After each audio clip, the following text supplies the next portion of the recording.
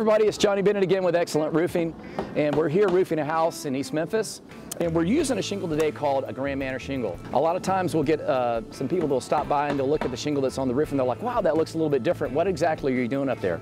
So I want to take a minute and kind of show you how this shingle is a little bit different.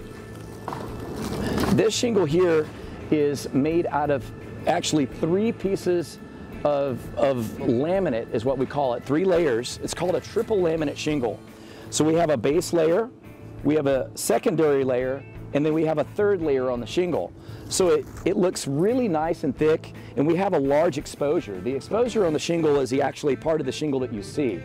So on a Grand Manor, we have about eight inches of shingle, eight inches of the shingle that you actually see when you're looking at the roof. So it sort of simulates slate, comes in different colors. On this house, we're using one uh, called Pearl Black or Black Pearl. And uh, it's gonna look very gorgeous when it goes up on the roof. And this is what we call a designer shingle uh, or a lifetime shingle. And there's other shingles kind of like this. Um, and this is a thicker, heavier shingle.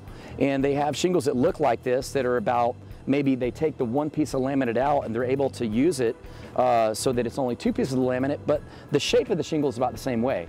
Now this type of shingle is a little bit more expensive than some of the other architectural shingles or the traditional three tab shingles, but you can still get a real custom look for your house.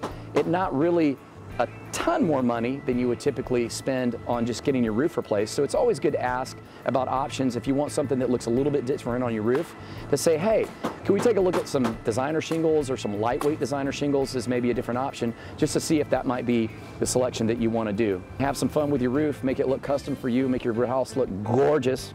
And remember always, Think about us when it comes to choosing your roof here at Excellent Roofing. Spread our name around. We love you. We love Memphis. You guys have a great day.